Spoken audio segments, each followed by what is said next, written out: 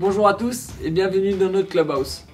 Le sujet du jour, quelle tension choisir et quand changer son cordage Le choix de la tension dépendra du type du cordage, soit un monofilament, soit un multifilament.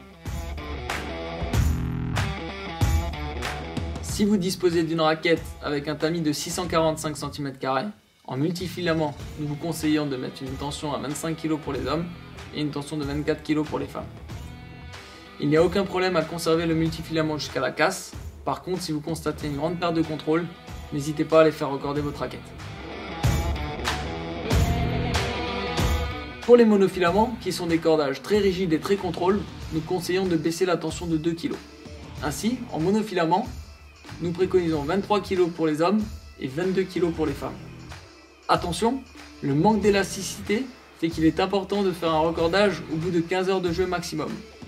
Sinon, le cordage deviendra moins performant, moins confortable et sera source potentielle de blessures. Notre premier conseil, si vous disposez d'un tamis de plus de 645 cm, nous vous recommandons d'augmenter la tension.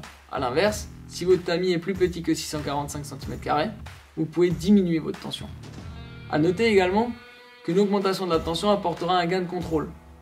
Une diminution de la tension vous apportera plus de puissance.